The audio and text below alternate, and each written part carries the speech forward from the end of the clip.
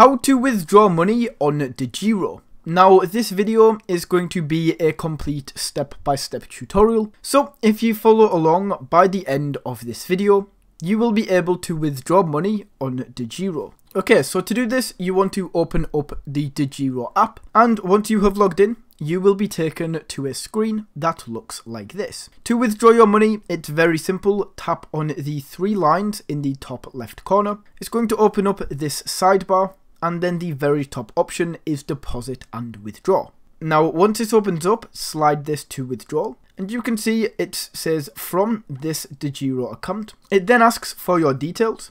So once your details have been filled in right here, the from and to, just enter in the amount that you would like to send, put in a description or a note right here, and that is how you can withdraw funds from DeGiro to your bank.